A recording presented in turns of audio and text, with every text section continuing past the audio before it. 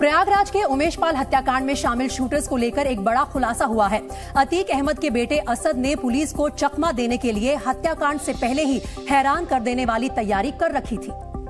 और इसके लिए असद ने एक दर्जन से ज़्यादा मोबाइल फ़ोन खरीदे थे।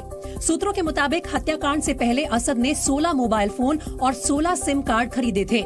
ये सभी फर्जी नाम और पते पर खरीदे गए थे। हत्याकांड के बाद हर शूटर को तीन तीन सिम और मोबाइल फ़ोन दिए गए।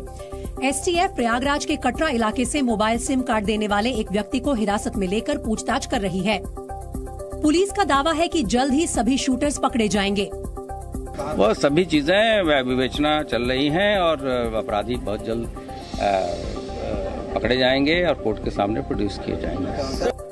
लेकिन सवाल उठता है कि शूटर्स की लोकेशन पुलिस को अब तक क्यों नहीं मिल पाई है? क्या उन्हें ज़मीन खा गई या आसमान निगल गया? पुलिस के हाथ इतने दिन बाद भी खाली क्यों हैं? दरअसल पुलिस शूटर्स तक इसलिए नहीं पहुँच पा रही है क्योंकि हत्या में शामिल हर शूटर ने अपने पुराने मोबाइल फ़ोन और सिम कार्ड से बात करनी छोड़ दी है। यानी उनकी प्लानिंग पहले से ही फुल प्रूफ थी। उन्हें पता था कि इतने बड़े हत्याकांड को अंजाम देने के बाद पुलिस उन्हें पकड़ने के लिए एडी चोटी का पूरा ज़ोर लगा देगी। इसलिए उन लोगों ने पहले से ही नए मोबाइल फ़ोन और सिम का इंतज़ाम कर रखा था। अब पुलिस सिम कार्ड देने वाले शख्स से नए सिम कार्ड के नंबर के ज़रिए उनकी लोकेशन ट्रेस करने की कोशिश कर रही है। सूत्रों की माने तो पुलिस आरोपी शूटर्स की तलाश में यूपी के कई शहरों गुजरात और नेपाल तक छापेमारी कर रही है। सूत्र बताते हैं कि यूपी पुलिस गुजरात के होटल्स में भी आरोपियों की तलाश कर रही है। टीम क्या गुजरात भी गई है? से पूछताछ करने ये सब चीज़ें जाती रहती हैं टीमें वो विवेचक भेजते हैं वहाँ कमिश्नर के द्वारा। समय समय पर इसकी ब्रीफिंग की जाती है। और इस बीच अतीक अहमद की बीवी शाइस्ता परवीन को लेकर भी एक खुलासा हुआ है। सूत्रों की माने तो उमेश पाल की हत्या करने वाले शूटर्स को पैसे शाइस्ता परवीन ने ही दिए थे। और ये पैसे लाखों रुपयों में थे। ये भी पता चला है कि शाइस्ता परवीन ने पैसे उमेश पाल की हत्या करने से पहले ही शूटर्स को दे दिए थे। हत्याकांड में शामिल शूटर्स को पैसा देने की पुष्टि होने के बाद ही पुलिस ने शाइस्ता परवीन पर पच्चीस हज़ार रूपए के इनाम का ऐलान किया था। यही नहीं, अतीक के करीबी सुधांशु त्रिपाठी उर्फ़ बल्ली पंडित ने क्राइम ब्रांच के सामने कई राज उगले हैं। सूत्रों की माने तो पुलिस ने बल्ली पंडित के मोबाइल फ़ोन की कॉल डिटेल रिकॉर्ड को खंगाला है, जिसमें अतीक के करीबियों से बातचीत की जानकारी मिली है। ये भी पता चला है कि शूट आउट से पाँच दिन पहले शाइस्ता परवीन बल्ली पंडित के घर भी गई थी। दरअसल उमेश पाल की हत्या से पाँच दिन पहले का एक सीसीटीवी सामने आया था।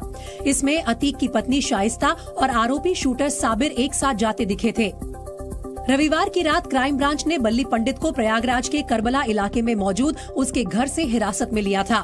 सूत्रों के मुताबिक बल्ली पंडित ने पुलिस को बताया है कि लखनऊ के एक बड़े बिल्डर ने उमेश पाल की हत्या कराने के लिए अतीक के बेटे को डेढ़ करोड़ रुपए दिए थे।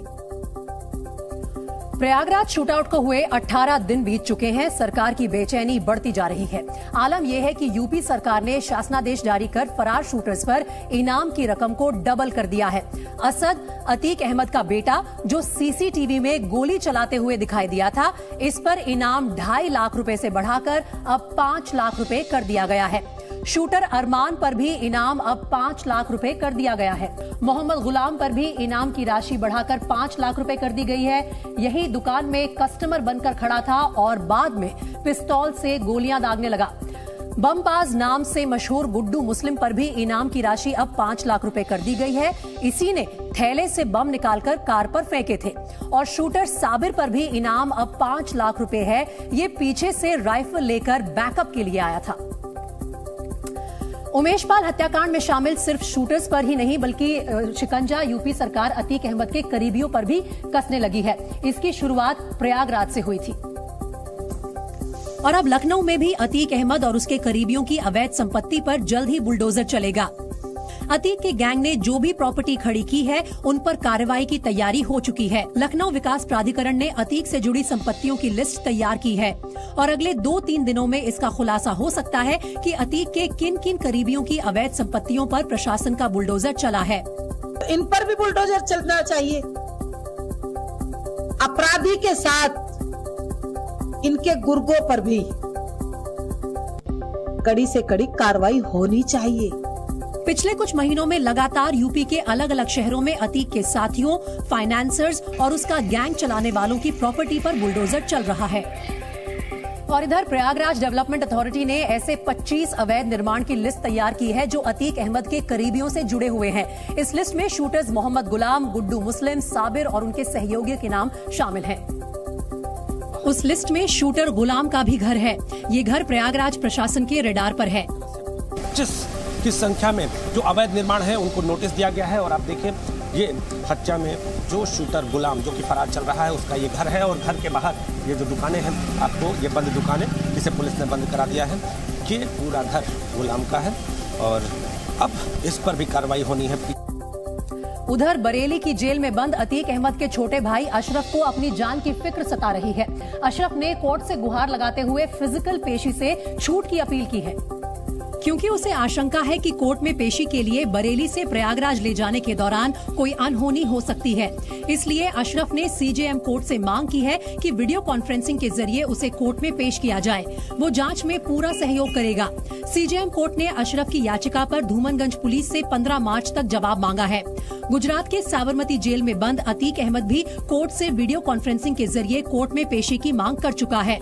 दोनों भाई ये मांग क्यों कर रहे हैं? योगी सरकार में मंत्री अनिल राजभर के बयान से समझ में आ जाएगा। सड़कों पर एक्सीडेंट होता रहता है। हम लोग तो रोज प्रयास कर रहे हैं कि एक्सीडेंट न हो। यूपी एसटीएफ की टीम अतीक अहमद से पूछताछ करने के लिए अहमदाबाद पहुँच चुकी है। वहीं राजूपाल की पत्नी पूजा पाल को सीबीआई कोर्ट ने स्थायी सुरक्षा देने का आदेश दिया है। जिस बरेली की जिला जेल में अतीक का भाई अशरफ बंद है उसी जेल के अधिकारियों पर बड़ी कार्रवाई की गई है। डीआईजी जेल आर्यन पांडे ने जेल के सात कर्मचारियों को सस्पेंड कर दिया है। जिसमें एक जेलर, एक डिप्टी जेलर और पाँच जेल वार्डन शामिल हैं। आरोप है कि अशरफ को जेल के अंदर वीआईपी ट्रीटमेंट दिया जाता था। उसके बैरक में मोबाइल फ़ोन के ज़रिए वीडियो कॉन्फ्रेंसिंग भी करवाई जाती थी। इस मामले में बंदी रक्षक शिव हरि अवस्थी और मनोज गौड़ पहले ही गिरफ़्तार हो चुके हैं। इस वक्त मैं मौजूद हूँ बरेली जिला जेल पे। और अपने दर्शकों को बता दूँ कि यहीं पर जो है अशरफ यहाँ पर बंद है और यहाँ पर जो आ, सदाकत को गिरफ़्तार किया था उसमें ये जाँच में खुलासा हुआ था कि यहाँ पर जो अशरफ कैद है उसको बैरक में मोबाइल ले जाया गया था और उसको लेकर अतीक अशरफ और उसके गुर्गों के बीच में प्लानिंग हुई थी। यही नहीं जेल सुप्रिंटेंडेंट राजीव शुक्ला को नोटिस जारी कर जवाब भी मांग लिया गया है।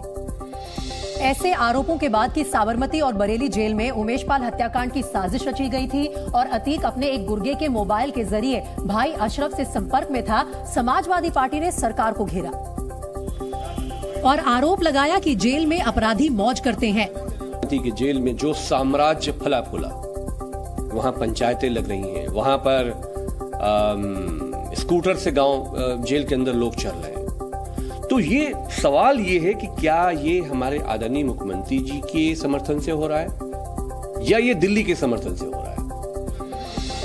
अब यूपी के जेल मंत्री गुजरात के जेल मंत्री को चिट्ठी लिखेंगे ताकि अतीक अहमद की गतिविधियों पर लगाम लगाई जा सके। ये ज़ीरो टॉलरेंस की जो नीति उनकी माननीय मुख्यमंत्री जी की है उसको हमें कायम रखना है और कहीं भी उस पर कोई दब्बा नहीं आने देना है। हमें जो भी करना पड़ेगा हम करेंगे। उधर बीजेपी के एक विधायक ने ये कहकर सनसनी फैला दी कि उमेश पाल हत्याकांड में दो आरोपियों का एनकाउंटर हो चुका है और अतीक अहमद जैसे अपराधी भी मारे जाएँगे। अतीक अहमद और मुख्तार अंसारी जैसे लोग भी जल्द ही मारे जाएँगे या उनके साथ कोई ऐसी घटना होगी कि वो उनको एक सबक सीखने को मिलेगा और उत्तर प्रदेश में लोग अमन चैन की नींद सोएँगे। वहीं सोमवार को यूपी के महोबा में सड़क परियोजनाओं के लोकार्पण के दौरान केंद्रीय मंत्री नितिन गडकरी ने योगी के एक्शन की जमकर तारीफ़ की। जो दुराचारी दुर्जन और दुष्ट थे जो गरीबों का शोषण कर रहे थे जो अन्याय और अत्याचार कर रहे थे गलत मार्ग से अवैध संपत्ति कमा रहे थे उनके ऊपर आपने बुलडोजर घुमाकर देश में आदर्श प्रस्तावित किया। लेकिन समाजवादी पार्टी ने योगी सरकार के एनकाउंटर और बुलडोजर पॉलिसी का विरोध किया।